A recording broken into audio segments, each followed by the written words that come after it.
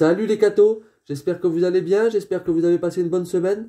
Voilà, avant de commencer, merci les cathos pour euh, tous ceux qui font des partages et tous ceux qui prennent le temps d'écouter les vidéos. Et n'hésitez pas à vous abonner, n'hésitez pas à mettre un petit pouce bleu pour que les vidéos ressortent. Et n'hésitez pas à laisser un commentaire si vous avez des questions. Voilà, merci. Aujourd'hui les cathos, notre vidéo va être euh, sur la naissance de Jésus à travers la vision des rois mages. Voilà. Je pense que tout le monde doit, doit penser qu'on... Bon, ben sur les rois mages, il n'y a peut-être pas grand-chose à dire. Et c'est ce que nous allons essayer de voir aujourd'hui. Donc, tout d'abord, je vais vous, vous lire dans l'Évangile selon Saint Matthieu, chapitre 2, verset 1. Jésus était né à Bethléem, en Judée, au temps du roi Hérode le Grand.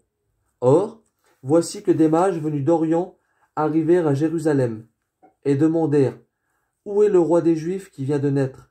Nous avons vu se lever son étoile, et nous sommes venus nous prosterner devant lui. En apprenant cela, le roi Hérode fut pris d'inquiétude, et tout Jérusalem avec lui. Il réunit tous les chefs des prêtres et tous les scribes d'Israël, pour leur demander en quel lieu devait naître le Messie. Ils lui répondirent à Bethléem, en Judée. Car voici ce qui est écrit par le prophète. Et toi, Bethléem en Judée, tu n'es certes pas le dernier parmi les chefs-lieux de Judée, car de toi sortira un chef qui sera le berger d'Israël, mon peuple. Alors Hérode convoqua les mages en secret pour leur faire préciser à quelle date l'étoile était apparue. Puis, en leur disant Allez vous renseigner avec précision sur l'enfant, et quand vous l'aurez trouvé, avertissez-moi pour que j'aille moi aussi me prosterner devant lui. Sur ces paroles du roi, ils partirent. Et voici que l'étoile qu'ils avaient vue se lever les précédait. Elle vint s'arrêter au-dessus du lieu où se trouvait l'enfant. Quand ils virent l'étoile, ils trouvèrent une très grande joie. En entrant dans la maison, ils virent l'enfant avec Marie sa mère, et tombant à genoux, ils se prosternèrent devant lui. Ils ouvrirent leur coffret, et ils lui offrirent leurs présents, de l'or, de l'encens et de la myrrhe. Mais ensuite, avertis en songe de ne pas retourner chez Hérode, ils regagnèrent leur pays par un autre chemin. Voilà les cathos. Quelle belle attention et quel euh, courage de la part de ces, de ces mages. Ces astronomes qui scrutent les étoiles connaissaient sûrement le ciel par cœur pour distinguer une nouvelle étoile dans le ciel. L'astronomie à cette époque était une sorte de religion c'était un peu les scientifiques de notre époque. Pour essayer de comprendre d'où on vient. Pourquoi sommes-nous là? Et surtout essayer de comprendre le mystère de l'univers, de ses planètes, de ses étoiles et de son infinie grandeur. C'était en quelque sorte les scientifiques de leur époque. Un soir, pas comme un autre, l'univers prend sens à leurs yeux. Peut-être qu'ils n'ont pas tout compris en regardant cette étoile. Et pourtant le mystère de toute la création qu'ils cherchent et qu'ils recherchaient depuis toujours, cette compréhension des astres et de l'univers, eh ben, leur brille aux yeux. Ils ne peuvent pas imaginer que toutes leurs réponses possibles, que toutes les réponses possibles eh ben, se, se trouvent à travers cette lumière, à travers cette étoile. La connaissance de toutes choses est visible à leurs yeux à ce moment-là. Jésus nous dira plus tard je suis le chemin, la vérité et la vie. Ces mages, sans entendre ces paroles, eh ben, ils avaient fait tout cela. Ils se sont mis en chemin en voyant cette étoile. C'est pour ça que je vous ai dit quel courage. Qui d'entre nous aujourd'hui peut dire qu'il se met en marche pour avancer vers le Christ? Faut du courage pour abandonner la personne que nous sommes, pour se laisser guider par cette étoile. Car la réalité de notre vie, bah, nous rattrape toujours, qu'on le veut ou qu'on le veut pas. Mais cette force bah, qu'il faut avoir, c'est de continuer et d'avancer. La vérité qu'ils recherchent, eux, n'est peut-être pas celle bah, qu'ils avaient désirée. Peut-être s'attendaient-ils à autre chose de plus, de plus spectaculaire, ou plus conforme à leur métier d'astronome. Et pourtant ils l'acceptent en marchant vers cette, vers cette lumière car peu importe la vérité qu'ils avaient pu imaginer, développer, ou qu'on a pu leur expliquer n'existe plus à travers leurs yeux. Seule cette vérité qui est Jésus leur importe. Et il nous reste un dernier point, la vie. Cette vie, on essayait de comprendre, ben, il leur pouvait la donner à travers l'astronomie et toute leur connaissance humaine qu'ils ont pu développer, sans pouvoir comprendre pourquoi vivre, pourquoi mourir. Et ils avaient déjà entendu parler d'un roi, d'un roi des Juifs, qui devait venir délivrer son peuple. Et ils espéraient sûrement ben, des réponses, comme nous tous. Nous devons en avoir parfois. Ils ont sûrement entendu parler de la prophétie du prophète Michée. Regardez ce qu'il est écrit en Michée 5.2. Voilà, c'est même en Michée 5.1. Et toi, Bethléem Ephrata, trop petite pour compter parmi les clans de Judas, de toi sortira pour moi celui qui doit gouverner Israël. Ses, ses origines remontent à l'Antiquité, au jour d'autrefois. Voilà les cathos. Parfois de simples paroles qui sont semées, comme celle de Michée, et qui germent tout doucement pour préparer notre cœur à voir cette, euh, bah, cette étoile, comme elle apparaît en tout cas pour ces mages. C'est clair, le Sauveur d'Israël, le roi des Juifs est né. Et c'est à cette vérité qu'il court pour avoir la vision qu'il cherche, depuis toujours. Il nous est pas précisé dans l'Évangile qu'ils étaient trois mages. Si tu crois aujourd'hui qu'ils étaient trois, c'est grâce à la tradition de l'Église, qui nous dit qu'ils étaient trois. Bibliquement, je ne peux pas vous le confirmer. Et la déduction qu'ils étaient trois est sûrement grâce au cadeau qu'ils ramènent au roi Jésus. De l'or, de l'encens et de la myrrhe. Et ce n'est qu'au sixième siècle qu'apparaissent les noms des mages. Gaspard, Melchior et Balthazar, qui sont facultatifs. Car ce qui compte, ce n'est pas leur nom, mais c'est ce qu'ils représentent depuis toujours. Il représente d'abord le peuple non juif qui se déplace vers celui qui deviendra le roi des Juifs. Ce peuple non juif qui a soif de connaissance, d'amour et de respect, qu'il recherche depuis toujours. Dans 1 Timothée 2.3, à 4, il est écrit Cela est bon et agréable devant Dieu notre Sauveur, qui veut que nous les hommes soient sauvés et parviennent à la connaissance de la vérité. Et, et ben c'est à cela que, que tous les peuples sont appelés. Accueillir les paroles et les méditer dans son cœur, comme la Vierge Marie. Et marcher à la suite des rois mages, pour aller nous aussi aimer Jésus. Et pendant leur marche, nous avons vu les mages qui sont convoqués en secret par Hérode. En secret. Cela représente un autre chemin celui de l'étoile à suivre. Le chemin que les hommes euh, se tracent, seuls sont Dieu. Hérode représente l'étoile de ce monde, c'est-à-dire toutes les convoitises de ce monde, pour, pour nous détourner de ce premier appel que nous avons reçu de Dieu, c'est-à-dire Jésus. Dans Deutéronome 30, 15 à 30, 30, 15, et 30 à 19, il est écrit.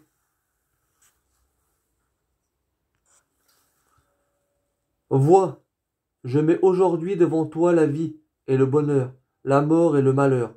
Moi qui te commande aujourd'hui d'aimer le Seigneur ton Dieu, de suivre ses chemins, de garder ses commandements, ses lois et ses coutumes. Alors tu vivras. Tu deviendras nombreux et le Seigneur ton Dieu te bénira dans le pays où tu entres pour prendre possession.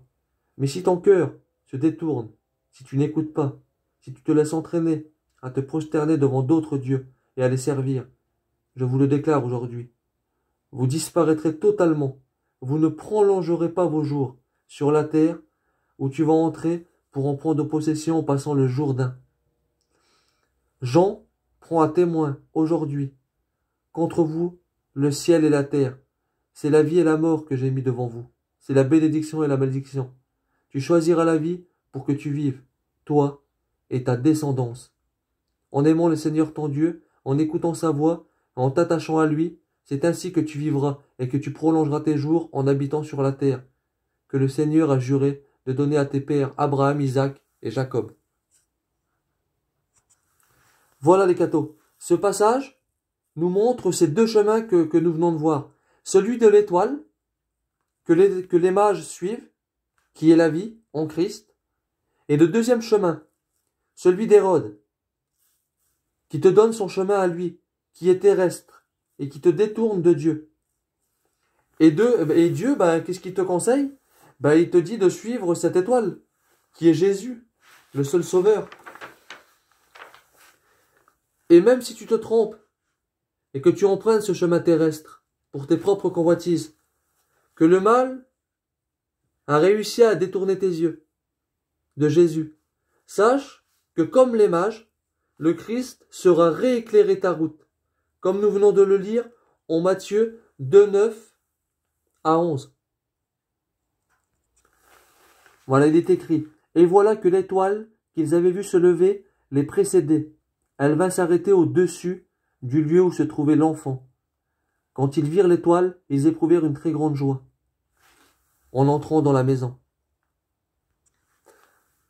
Voilà les cathos.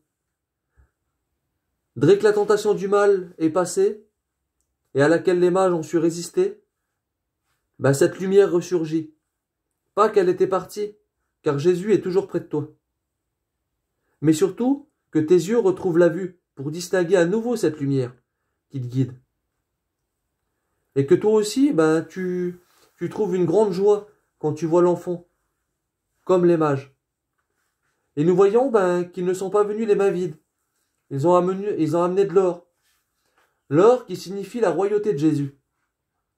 Les mages reconnaissent en Jésus une royauté qu'ils n'ont peut-être pas compris complètement à ce moment-là. Mais Jésus nous le dira en Jean 18, 36. Jésus nous déclare une royauté ben, qui n'est pas de ce monde. Voilà, il est écrit. Jésus déclara, Ma royauté ne vient pas de ce monde. Si ma royauté venait de ce monde, j'aurais des gardes qui se seraient battus pour que je ne sois pas livré aux Juifs. Non, ma royauté ne vient pas d'ici. Voilà les cathos. Jésus nous déclare une royauté qui est vérité et amour. Et cela vient bien d'un autre royaume qui n'est pas terrestre, mais bien céleste, c'est-à-dire au-dessus de tout. Les mages lui apportent aussi de l'encens, pour signifier la divinité du Christ. Cette divinité qui est concorde avec le premier coffret qui était de l'or. L'or est l'un des matériaux le plus précieux que nous possédons sur cette terre.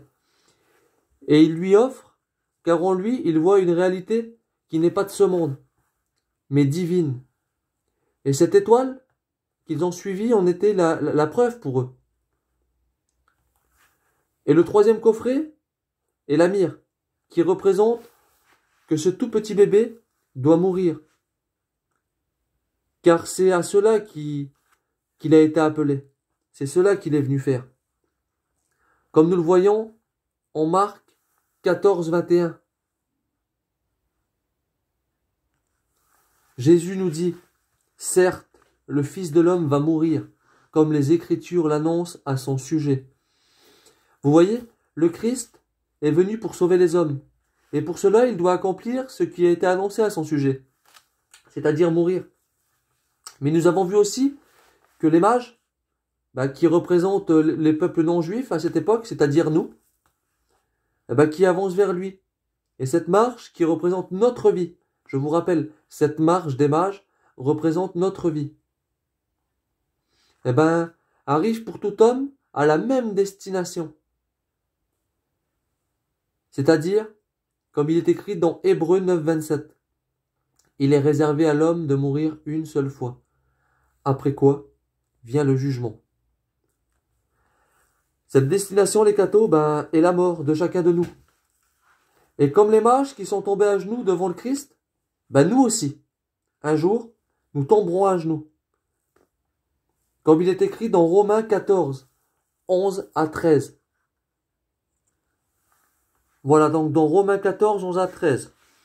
Car il est écrit, Aussi vrai que je suis vivant, dit le Seigneur, toute créature tombera à genoux devant moi, et toute langue acclamera Dieu.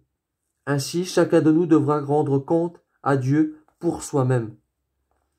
Cessons donc de nous juger les uns les autres, mais jugez plutôt qu'il ne faut rien mettre devant les pas d'un frère qui le fasse buter ou tomber.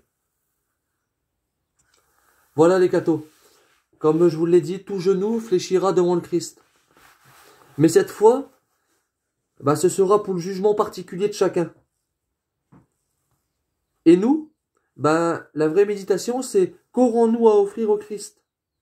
Car le sens profond des coffrets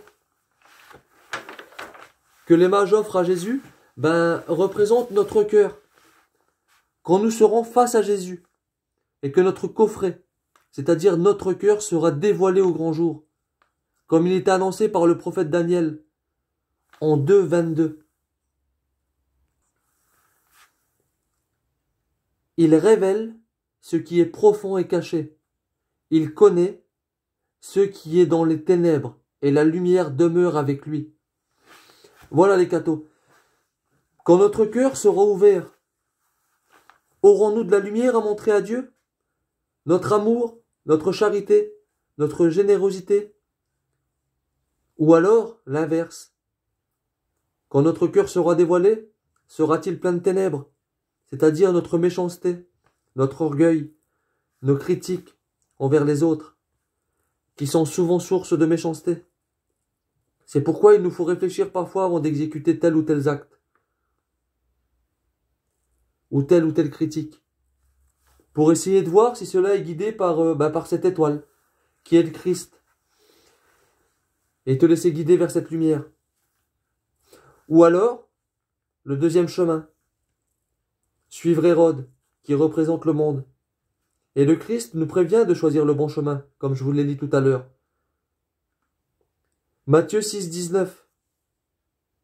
Jésus nous dit que tout ce que tu accumuleras sur cette terre rouillera, car tout cela est terrestre. Mais le vrai trésor est là où se trouvera notre cœur c'est-à-dire travailler pour les œuvres célestes, qui, comme les mages, nous présenteront au Christ à notre mort, et qui ne rouilleront jamais. Car celui qui est né de Dieu est de Dieu, mais celui qui reste dans ce monde est du monde. Et beaucoup d'entre nous doivent se dire, mais moi je suis des deux, lumière et ténèbres, parfois bon et parfois mauvais, parfois mes actes sont célestes, guidé de Dieu, et parfois terrestre, guidé du mal. C'est pourquoi Jésus nous donne une sortie à cela. Le but est d'arriver genou à terre devant le Christ, avec de bonnes actions et de l'amour, un trésor qu'il sera heureux de recevoir. Mais il te demande aussi de déposer les mauvaises en cours de route. Mais cette fois-ci, il te demande de ne pas venir les déposer devant lui, au jugement particulier. Cette fois-ci, il te demande de venir les déposer au pied de la croix, à travers le sacrement de confession. Car, car Jésus est mort pour ton côté obscur, justement, qui sera ravi de te pardonner avec son immense miséricorde qui dépasse bien, bien, bien tout mal. Voilà les cathos. À travers cette petite vidéo, bah, nous venons de voir euh, deux chemins. Un chemin qui représentait Hérode, c'est-à-dire le monde. Un autre chemin que les mages suivent, c'est-à-dire une vision céleste à travers cette étoile. Vous voyez, Hérode représente le monde, notre vision qui ne dépasse pas les cieux, et cette étoile qui est guidée par le ciel, bah, représente euh, bah, le Christ, cette marche céleste à suivre, mais voilà, comme on vient de le voir, nous sommes guidés par les deux. Et à travers les deux, ben, tant que nous sommes sur cette terre, comme je vous l'ai dit, n'hésitons pas à venir déposer au pied de la croix de Jésus à travers le sacrement de confession, ben, toutes ces mauvaises choses que nous pouvons accumuler pour arriver justement à cet grand escalier qui, qui représente notre marche et qui nous un jour, nous, nous fera ben, fléchir le genou devant le Christ, vers cette étoile. Et espérons-le, comme à travers euh, cette petite représentation du cœur dans deux mains que je vous ai mis, ben, que travers nos deux mains, ben, nous pourrons déposer au Christ euh, un cœur sincère et un cœur d'amour comme il le veut euh, depuis toujours. Voilà les cathos. Je vous, je vous laisse sur deux lignes de Saint Ambroise de Milan, qui, qui était là présent au IVe siècle et qui nous a laissé euh, des écrits magnifiques. Je vous laisse sur ces deux lignes. C'est en effet par la bonté de Dieu que nous sommes accordés tous les biens qui ne comprennent aucun mélange de mal. C'est-à-dire, à travers cette phrase, si nous, nous sommes mélangés du bien et du mal, que parfois ben, nous prenons un chemin une fois l'autre, sachez que tout ce que Dieu vous donnera ne présentera aucun mélange. Ce sera pur car Dieu est bon. Puisque Dieu est un refuge, car Dieu est au ciel et au-dessus des cieux, c'est donc bien là qu'il faut fuir loin d'ici. C'est-à-dire, Saint Ambroise nous invite à travailler pour les choses célestes, là où est notre cœur, et non pas pour ces choses terrestres qui rouillent et qui un jour passeront. Amen. Voilà les cathos, j'espère que cette vidéo vous a plu. N'hésitez pas à laisser des petits commentaires. Si vous n'avez pas compris quelque chose, je serai ravi d'y répondre. Voilà, donc euh, ben, je vous dis à plus et on se voit bientôt pour une prochaine vidéo. Voilà, que Dieu vous bénisse et à plus les cathos.